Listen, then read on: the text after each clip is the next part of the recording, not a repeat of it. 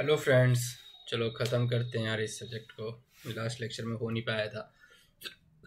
अब nine piece देखते हैं मार्केटिंग का। ये चाहे मार्केटिंग हो या कहीं का भी हो, सबसे पहला तो क्या होता है? प्लानिंग और प्लान में हम क्या करते हैं? कंटिन्यूस रिसर्च करते हैं और मल्टीपल डिसीज़न लेते हैं कि हम कैसे प्रोडक्ट को डेवलप करेंगे, क्या उसकी प्राइसिंग रहेगी, कैसे प्रमोट करेंगे, कौन से पार्टनर रहने वाले हैं, कौन से डिस्ट्रीब्यूशन चैनल्स होंगे, जो हमारे प्रोडक्ट को आगे पहुंचाएँगे। ठीक है? फिर है प्रोडक्ट एंड सर्विस उसके बाद आपको प्रोडक्ट डिसाइड करना होता है कि उस प्रोडक्ट या सर्विसेज़ की हम ब्रांडिंग कैसे करेंगे? क्या डिज़ाइन होगा? कैसे पैकेजिंग होंगे? कौन से साइज़ होंगे? कैसी सर्विसेज़ देंगे? वारंटी सर्विस क्या होगी? रिटर्न पॉलिसी क्या होंगे? मेंटेनेंस पॉलिसीज़ कैसे रहने वाली है? पी थ्री प्राइस यहाँ पे हम प्राइस डिसाइड करते हैं कि अगर प्राइस में कोई डिस्काउंट देना है quality discount quantity credit discount quantity discount sales या फिर पेमेंट पीरियड के बेस पे कि कोई ज़्यादा होलसेल मिले जाए, उसको डिस्काउंट दे देंगे क्वांटिटी डिस्काउंट दे देंगे, है ना? कोई अगर जल्दी कैश में पैसा कर दे, उसको क्रेडिट डिस्काउंट भी दे सकते हैं। फिर है प्लेस और डिस्ट्रीब्यूशन कि कैसे हम अपने गुड्स को फ़िज़िकल लोकेशन तक पहुँचा पाएँगे, कौन से डिस्ट्रीब्यूशन चैनल्स को यूज़ करेंगे, कौन से लोकेशन पे हमारा इन्वेंट्री मैनेज होगा, कौन से ट्रांसपोर्टेशन से हम करेंगे। तो ये प्लेस प्लेस और डिस्ट्रीब्यूशन में आता है। फिर प्रमोशन करना है, जैसे पब्लिक रिलेशन हम एक दूसरे को बता रहे हैं एडवर्टाइज करा रहे हैं वाइट पेपर्स पे मतलब के बारे में बताना वेबसाइट्स पे या फिर एडवर्ड्स प्रेस रिलीज़ कर रहे हैं स्पॉन्सरशिप इवेंट कर रहे हैं ट्रेनिंग इवेंट कर रहे हैं सेल्स प्रमोशन कर रहे हैं, या पर्सनल सेलिंग भी कर रहे हैं तो ये सब प्रमोशन करके अपने प्रोडक्ट या सर्विस को पहुंचाना। फिर है पार्टनर्स पार्टनर्स में कि हम किस पार्टनरशिप में जा रहे हैं, कि हमारे पार्टनर कैसे हमारे कस्टमर बेस को बढ़ाने में हेल्प करेगा। किसी मार्केटिंग एजेंसी से कांटेक्ट कर लिया कि भाई, तुम कैसे हमारे लिए कस्टमर खोज के लाओगे ताकि हमारी कॉस्ट थोड़ी सी कम हो। तो पार्टनर्स अब आप देखना, कोई भी मूवी रिलीज़ होती है तो नीचे बिज़नेस पार्टनर्स होते हैं, या फिर डिजिटल राइट्स पार्टनर्स होते हैं। वो पार्टनर्स क्या है? अलग अलग अलग अलग कंपनीज़ होती हैं। जो कि वो कॉस्ट शेयर करती है। पीपल और टारगेट की कौन से हमारे कंज्यूमर रहने वाले हैं, कौन से पीपल होंगे, कौन से पोटेंशियल बायर रहने वाले हैं, जिनको हम अपनी सर्विसेज़ या प्रोडक्ट बेच पाएँगे।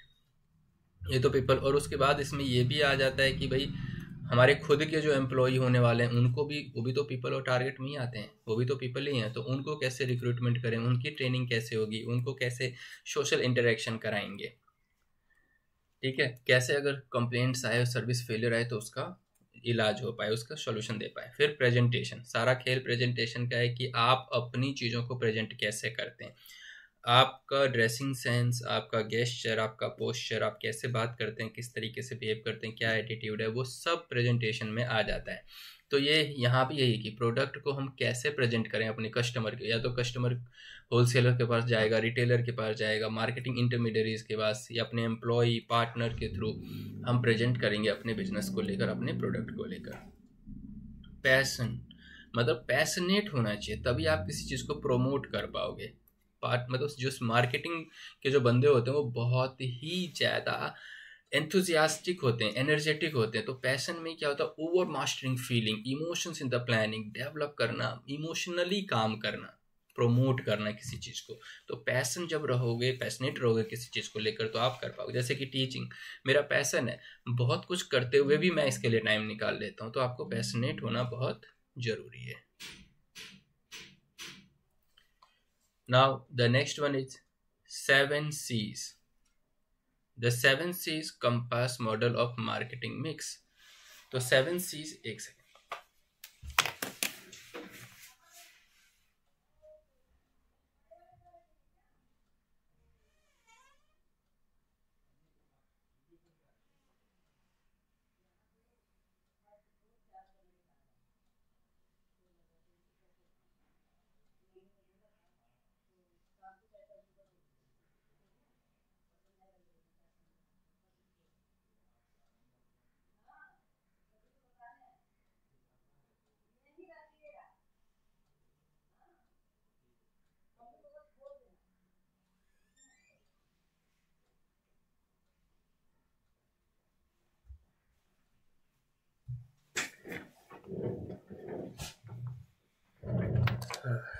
seven C's.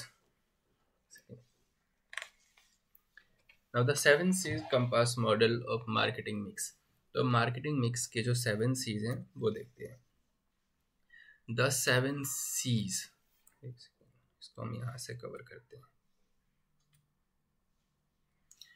पहला है कॉरपोरेशन कॉरपोरेशन में क्या आ जाते हैं? कंपटीटर भी आ जाते हैं, आपकी कंपनी ऑर्गेनाइजेशन आ जाती है और आपका शेयर होल्डर्स आ जाते हैं। तो पहला कॉरपोरेशन तो हमें तीनों का ही ध्यान रखना है। फिर है कॉमोडिटी कॉमोडिटी में जो गुड्स और सर्विसेज़ हैं सी बेस्ड ऑन को मार्केटिंग कॉन्सेप्ट फिर मल्टीपल कंपनी वर्क टुगेदर जहाँ पे बहुत सारी कंपनी एक साथ काम करती है प्रोमोट करती है ब्रांडेड प्रोडक्ट को को ब्रांडेड प्रोडक्ट को अलग अलग तरीके से।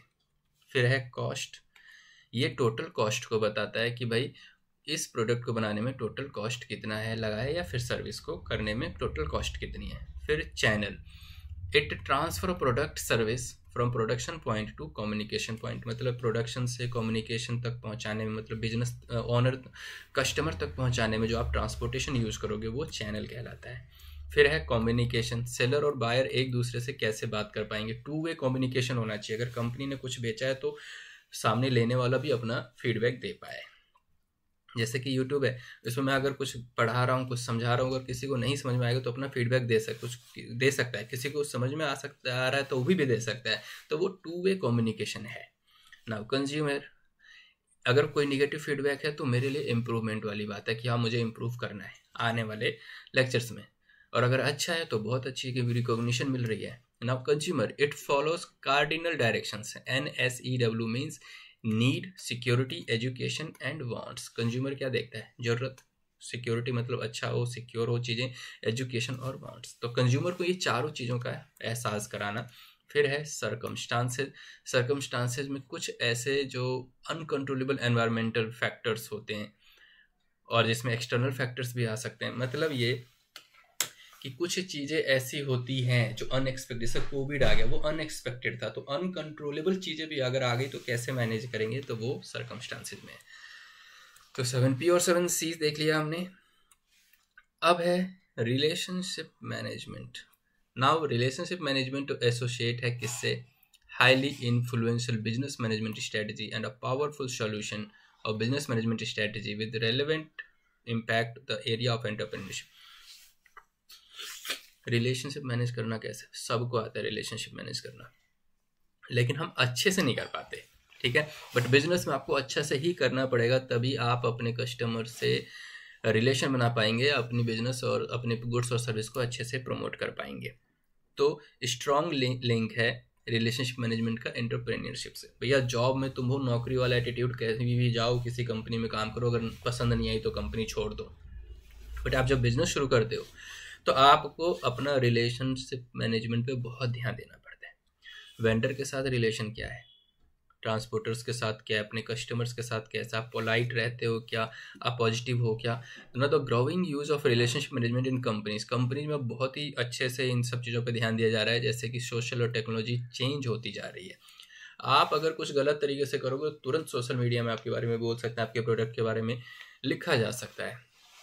Over the year relationship management जो है वो बहुत ज़रूरी बन गई है, क्योंकि अब बहुत ही बेनिफिट हो रहे हैं रिले एंटरप्रेन्योर्स को कि भाई कस्टमर इंटरेक्ट कर पा रहा है कस्टमर बात बता पा रहा है अपनी। ऑटोमेटिक मटेरियल टास्क है कस्टमर इन्फॉर्मेशन ऑर्गेनाइजेशन कस्टमर की इन्फॉर्मेशन मिल रही है कस्टमर की नीड्स के बारे में पता चल रहा है। तो ये सब है। अब रिलेशनशिप मैनेजमेंट के बेनिफिट्स देख लेते हैं। Entrepreneurs can improve their customer retention level customer retention level मतलब क्या होता है? कि मेरे चैनल का जैसे कोई सब्सक्राइबर बना तो वो लॉन्ग टर्म तक कैसे सब्सक्राइबर रहे? रिटेन कैसे करूँगा मैं उसको? उसको क्वालिटी टीचिंग दे या क्वालिटी कंटेंट दे के कंटेंट दे के ऐसे ही कोई प्रोडक्ट है। तो उसको एक बार कोई प्रोडक्ट लेके गया तो बार बार उसी का प्रोडक्ट ले, वो कैसे होगा?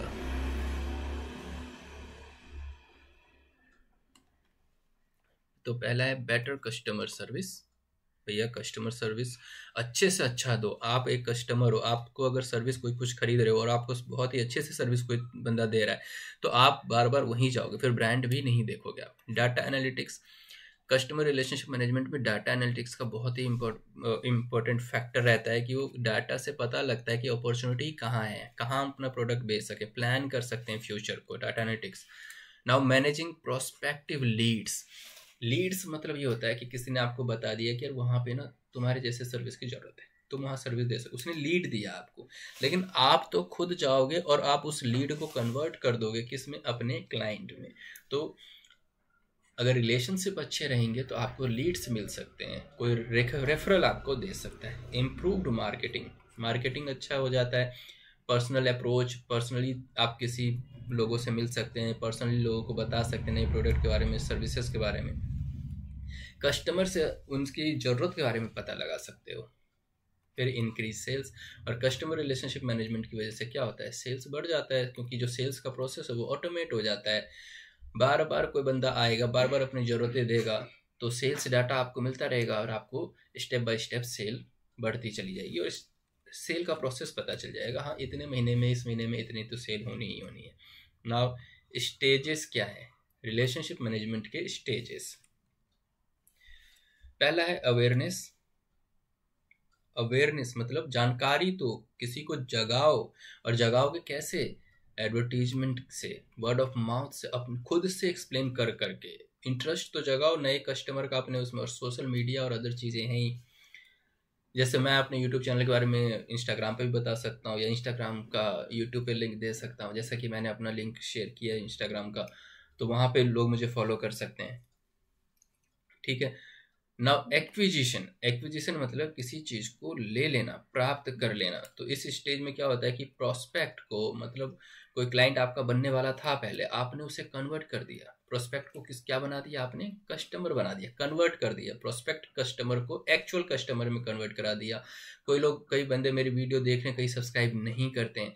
अगर वो सब्सक्राइब कर लेते हैं तो वो व्यूवर्स और सब्सक्राइबर्स बन गए हैं, ऐसे ही कंज्यूमर्स के लिए। तो एक्विजिशन इसे बोला जाता है। फिर कन्वर्जन जिसमें आप अटेंशन डालते हो प्रोस्पेक्टस की प्रोस्पेक्ट्स को मतलब जो फ्यूचर में आपके क्लाइंट्स बन सकते हैं फ्यूचर में जो आपके कस्टमर बन सकते हैं, उनको आप सेटिस्फैक्ट्री प्री बाइंग एक्सपीरियंस देते हो। खरीदने से पहले उसको इतना सब कुछ अच्छे से एक्सप्लेन करते हो, वो खुश हो जाता है। ठीक है? और वो फिर जो लीड है, वो ट्रस्ट में कन्वर्ट होता है और ट्रस्ट ट्रस्ट जो है वो आपका कस्टमर बन जाता है।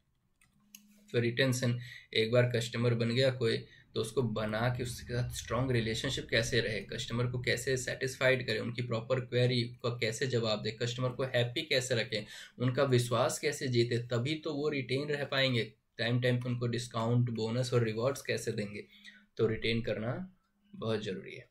फिर है एडवोकेसी एडवोकेसी में recommend the brand by satisfied customer मतलब अब आपकी जो सेटिस्फाइड कस्टमर है, वो आपके ब्रांड को रिकमेंड करेंगे दूसरे को कि भाई, या तो आप मेरे जैसे मेरे चैनल के बारे में किसी और को बताते हो, यार उन्होंने सही से एक्सप्लेन किया है, वो कवर करा रहे हैं सिलेबस इस टाइप से तो आप एडवोकेसी का पार्ट कर रहे हो। ये सब कस्टमर रिलेशनशिप मैनेजमेंट में आ जाता है।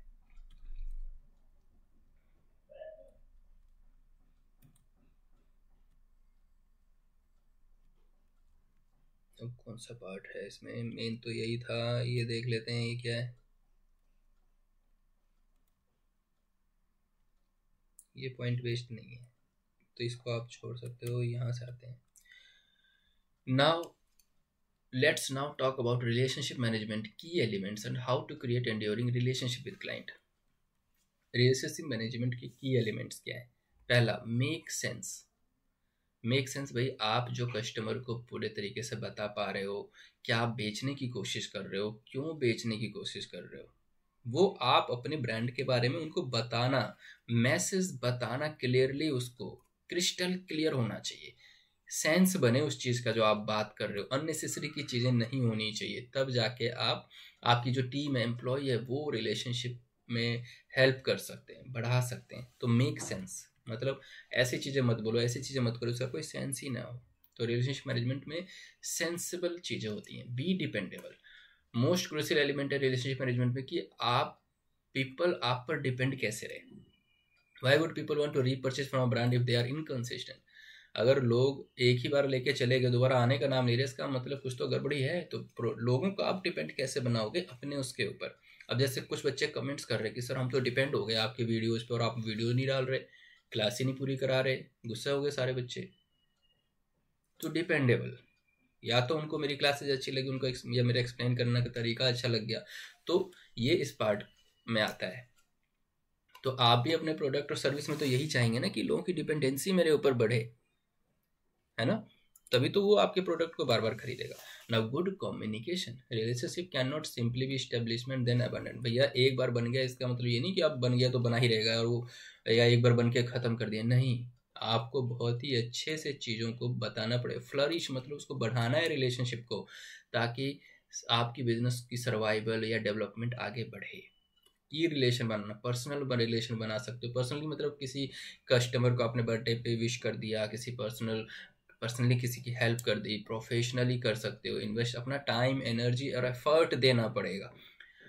तब जाके आप एक अच्छा कम्युनिकेट कर पाओगे अपनी चीज़ों के बारे में। बी अप बीट जो आपके आसपास जो रहना चाहते हैं, वो देखो who is toxic and negative अगर वो टॉक्सिस हैं, खराब लोग हैं, गुस्सा करने वाले नेगेटिव लोग हैं तो बहुत मुश्किल है आपके लिए काम करना। इसीलिए सिचुएशन कितनी भी ज़्यादा हो, आपको पॉजिटिव एटीट्यूड रखना है अपने लिए और अदर्स के लिए। तब जाके ही आप लाइफ में एक लंबी रिलेशनशिप या फिर एक लंबी दोस्ती कर पाओगे किसी के साथ। फिर है acquire interpersonal abilities interpersonal abilities यही होती है कि आप अपनी बातों से किसी को इन्फ्लुएंस कर पाओ। आप किसी को भरोसा दिला पाओ कि भाई आपको जो मैं चीज़ें दे रहा हूँ, बिल्कुल ट्रस्ट कीजिए, बिल्कुल सही है तो ये इंटरपर्सनल स्किल इसमें आ जाता है। अगर कोई बंदा बोल नहीं पा रहा है, चीज़ों को एक्सप्लेन नहीं कर पा रहा है तो उसकी इंटरपर्सनल स्किल बेकार है। तो वो इन्फ्लुएंस कैसे करेगा पीपल को? कैसे अपने बारे में बताएगा? कैसे वो बना पाएगा एक जॉयफुल रिलेशनशिप स्ट्रॉन्ग रिलेशनशिप एक अच्छा रिलेशनशिप वो तो जिसकी इंटरपर्सनल स्किल एबिलिटी मतलब बात करने का तरीका, सोचने का तरीका पॉजिटिव एटीट्यूड नहीं है फेशियल एक्सप्रेशन ठीक नहीं है तो या आई कांटेक्ट मेंटेन नहीं कर पाते कॉन्फिडेंस नहीं रख पाते तो उनके लिए लाइफ में बहुत सारी मुसीबतें आने वाली हैं। फिर वो टीम में काम नहीं कर पाएँगे, अपने एम्प्लॉय से अच्छा बिहेव नहीं कर पाएँगे। तो ये सब है कि आपको इंटरपर्सनल स्किल तो लाना ही पड़ेगा। इस तरीके से ये सब्जेक्ट फिनिश होता है। मैंने कवर करने की कोशिश की है पूरे सिलेबस को। और लास्ट में all the best for exam नाम लिख दो अपना? सी ए अमित कुमार। चलो जी स्माइल के साथ। ओके जी बाय बाय थैंक यू इतना सब कुछ सुना मुझे आपने। मिलते हैं किसी नए सब्जेक्ट के साथ, नए लेक्चर्स में। तब तक के लिए बाय बाय टेक केयर